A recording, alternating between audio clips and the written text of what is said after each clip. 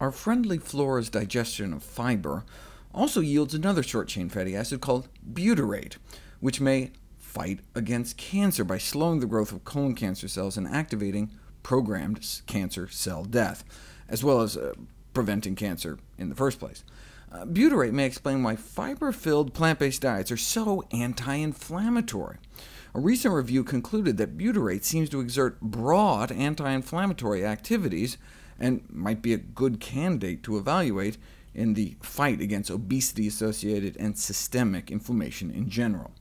Now, they're alluding to using it as some kind of supplement, but we can produce more on our own naturally two ways. Number one, eating more plant foods, since it's a byproduct of fiber digestion, and number two, we can boost the number of butyrate-producing bacteria in our colon by eating more plant foods.